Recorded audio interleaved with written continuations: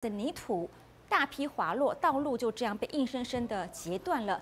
秘鲁中部安第斯山区因为一波暴雨，出现好几起的土石崩落情况。幸好当地民众，包括一名孕妇在内，在土石流意外之前，已经先撤离到安全地区，因此没有造成人员伤亡。但由于土石大片崩落，多条道路因此而中断，民众暂时也没办法返家。相关单位则是忙着抢通连外道路。